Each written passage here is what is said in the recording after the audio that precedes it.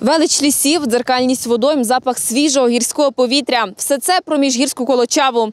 Красу цього неймовірного пейзажу псує лише одне – купи сміття.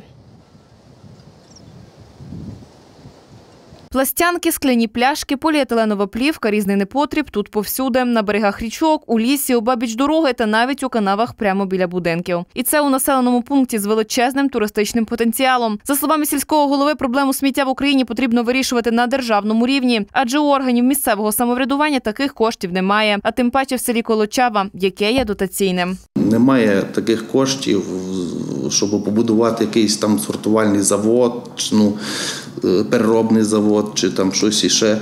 Е, І скажу так, що ну, так як ми межуємося з національним природним парком Синевір, законодавством заборонено мати який будь-які сміттєзвалища поблизу.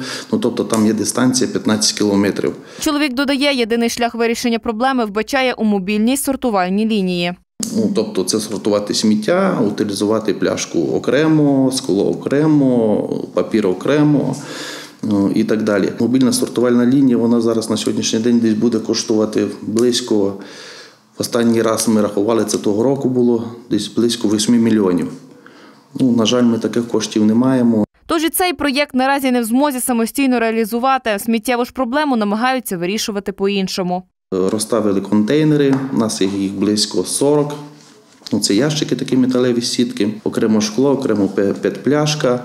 Ну і люди приїжджають, які в цьому зацікавлені, забирають її.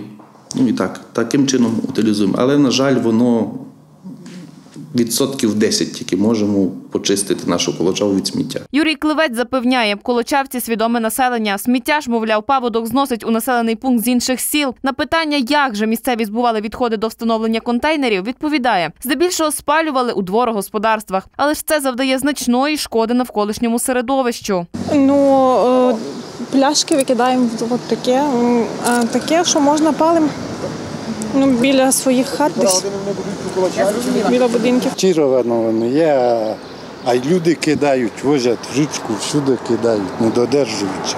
В Більшості люди, А Як гадаєте, взагалі, як цю проблему можна би було вирішити?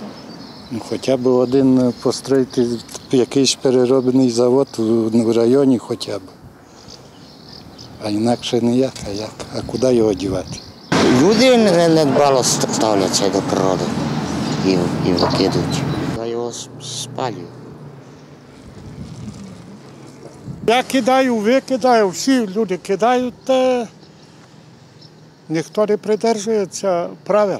Та тут от ящики вже поставили на, на бутилки, на, на, то, на такі, на, на пластмасові і на стекляні. Думаю, що найбільша проблема, що відсутність сміттєзвалища.